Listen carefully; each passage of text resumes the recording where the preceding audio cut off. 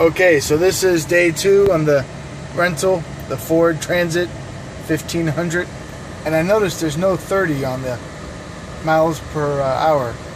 Most speed traps, when you're going through a neighborhood, are 30, especially in certain neighborhoods. I want to see that number, make sure I'm under it. I also found out, looking under the hood, that this uh, truck, you, the, the engine, you can get to the entire motor under the hood. That is definitely a plus.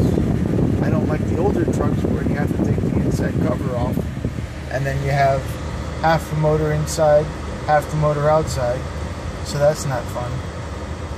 But what I also found out is that the battery is under the driver's seat, under like three pieces of covers. Three different covers that you have to unbolt, slide the seat, take a curtain, lift it up, and boom, there's your battery.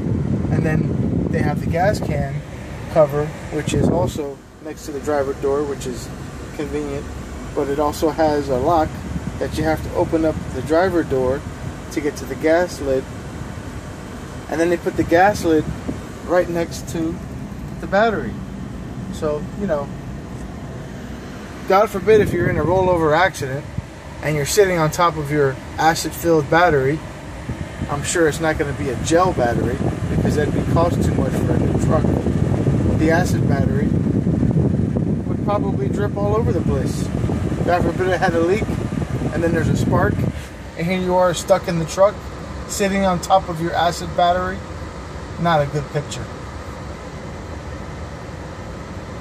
But it does have very quick acceleration and the transmission shifts pretty fast. So that's a plus. Just don't get into a bad wreck.